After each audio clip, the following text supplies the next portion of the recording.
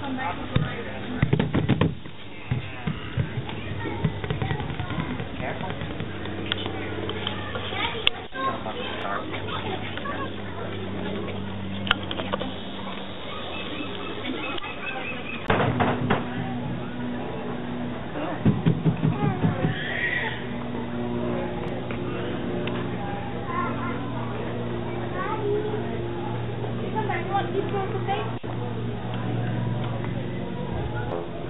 Just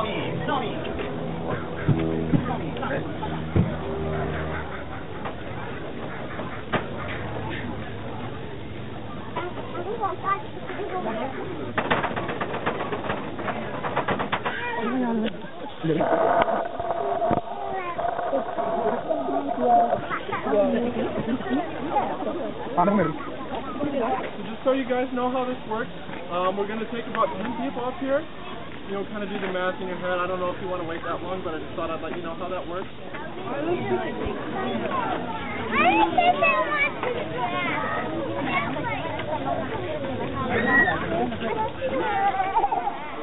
Hey, hey, don't split up. Hey, Oh,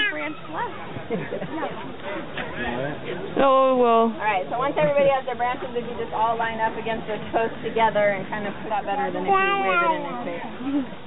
Look at this. you want to watch out when do it next to you. Oh, no.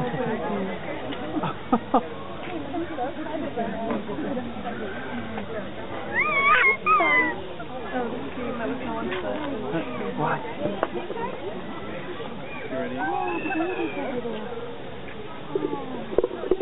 Oh, here he comes.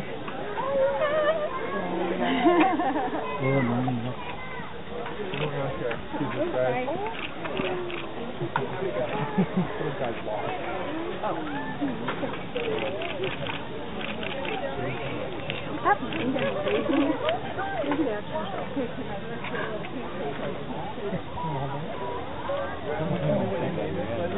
I'm sorry. Back to you, Daddy. What's your name? Ow.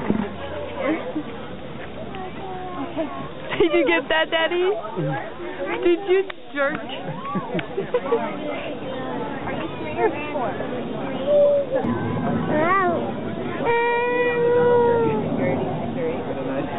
Yeah, he's toast.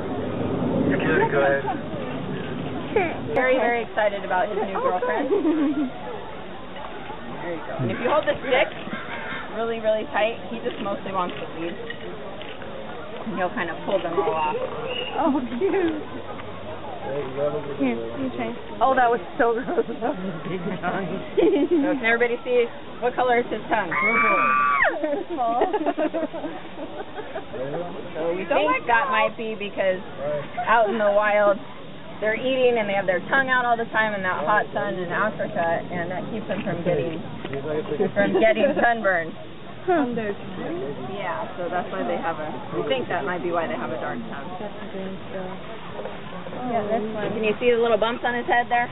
Yeah. Those are called ossicones. Say ossicones? Ossicones. So they use those when they are fighting with each other. And generally the males will decide who's kind of the biggest, toughest guy, and he gets first pick of all the, the gals in their herd. So we will take their neck and those ossicones, and the males will bash into each other. It's called sparring, and that's kind of how they decide who's, who's the biggest, baddest giraffe. But you'll notice usually if you see a big group, we only have the one little female. The